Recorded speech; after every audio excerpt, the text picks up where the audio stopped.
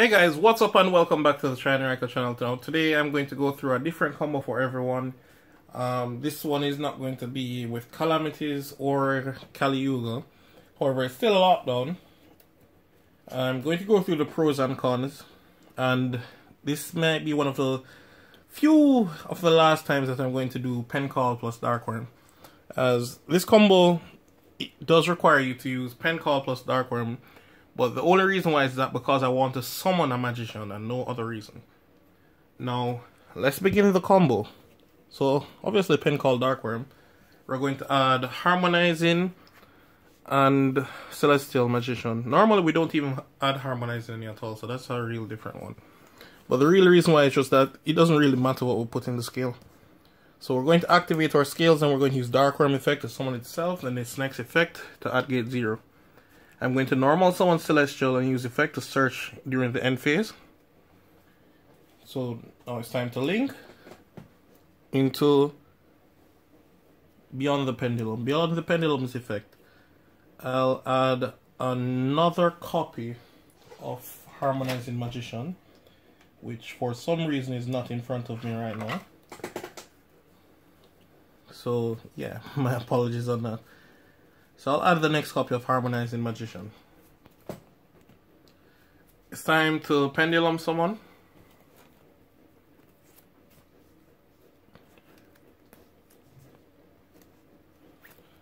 And I'll use Harmonizing Effect to summon Stargazer. It's not specifically required to be Stargazer, it could be any level 5. Then Shenanigans, Exceed Shokan into time star effect. Detach and we will add our Sage de Flare effect targeting I can use any pendulum monster. However I would best advise you to target the gate zero. Because even if it something goes wrong it doesn't matter. So we'll drop him pop him on scale. Now apologies. Um, Time Star can save any pendulum card on in the monster zone or in the pendulum zone by sending a spellcaster from deck. Now notice he can only add dark spellcasters, but he can send any spellcaster. So it's not limited. So in other words, this is a Foolish Burial for spellcaster decks. So I'm going to send Jowgen, which is going to be the lock for today. And from here, I actually don't need this anymore because he did his job by Foolish Burial. And now I can link off into our first Selena Gomez. We're going to use effect. It's mandatory, it's not really optional.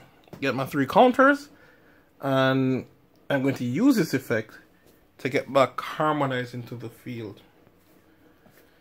Don't be crazy on and somebody Jowgen too early. Now that harmonize here, I can link off using these two. Harmonizing goes to face up extra deck. I'm going to our Halqifibrax. Hulk effect, I'll get Red Rose. I'll now use Oath, add back Harmonizing, and from here, I can start Synchro Summoning. So I'll Synchro Summon with both of these first. I'll make my level 10, should be and I can't exaggerate this enough, should be Baron. Hopefully by next week I'll have my own copy. Like, you know when you have money to buy it and it's just not, no one's not selling it anyways? Anyways, now it's time to use our Red Rose effect. Summon Rocks Rose. Just by summoning Rock Rose, Rocks Rose, you'll get the effect. And you're going to add Basal Rose Shoot. I'll synchro with both of these in no, my apologies. I'm not supposed to synchro someone this early. It doesn't change anything. It's just that you'll get less negates because I could equip Selene instead, but just since I declared it, let's work with it. I can now use the next basal rose shoot. Pull back. It doesn't matter which one. Synchro.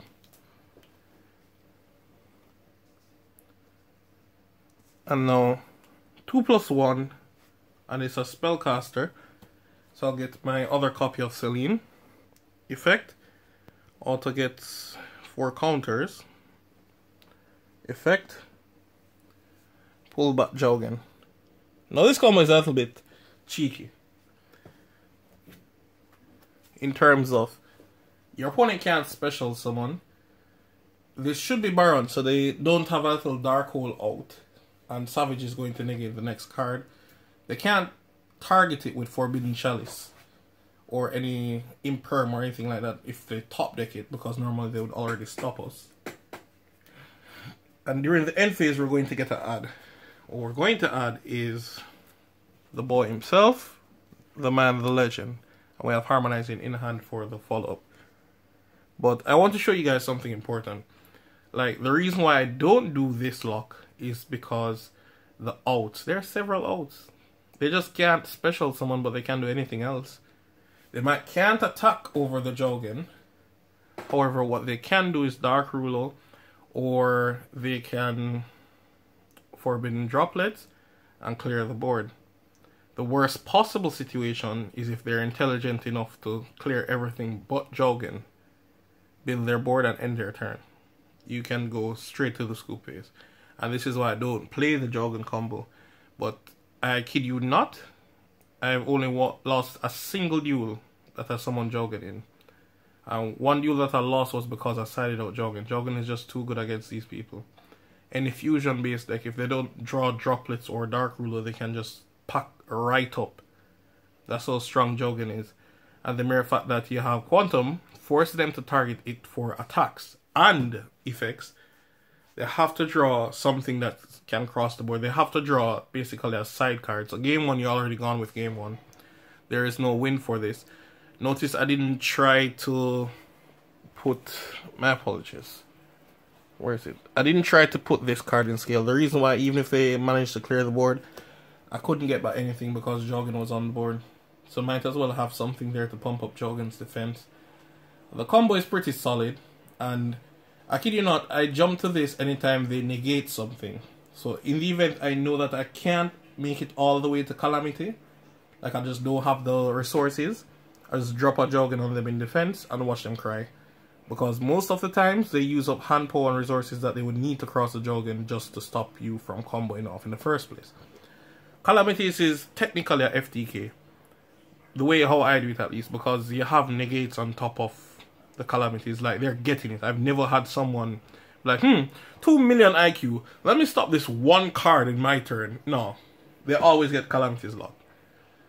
And it's not like people don't dark ruler me or anything, but the sphere mode me and that the lava golem me. So those are cards that are guaranteed get them out. But for this, um, it, they still have to face two negates. Like no shit. And then the worst part is if you actually see enough spell cards, the Sullian can reborn, reborn the Jowgen again.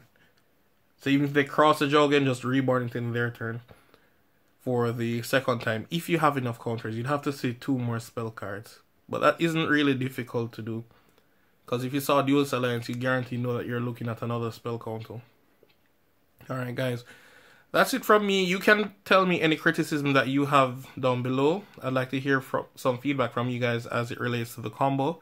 In my opinion, this combo is a bit too soft in terms of you don't have enough aggression, and I don't like floodgates that stay on board. Like with calamities, he just negates and sorry, he doesn't even negate, he just locks them and it's done. Like he doesn't stick around.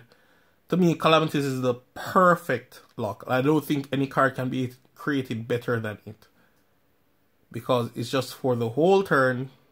They can't even respond to it. That's what makes it so broken. And then you're telling me it doesn't have to stay on field or anything like that. No, calamities is unfair. And I expect for calamities to go on the ban list, but you never know if the ban list might take um Halqifibrax. I'd be crying if they took Hulk because I really love the card and it's very useful and its utility is amazing, but it's the biggest enabler for all of this foolishness. In my opinion, still, calamities can damn well still go because it is unfair. Like I duel a lot of persons and they just didn't even have a turn. It is downright unfair and unhealthy. But at the same time, it's very difficult to pull off, so no one really watches it. So Calamities is what it is right now. I think it needs to be banned over Hulk. Like all these turn endos that just happen. I prefer those go banned. But you guys can tell me what you guys think down below. Rate, comment, subscribe, and I'm out. Peace.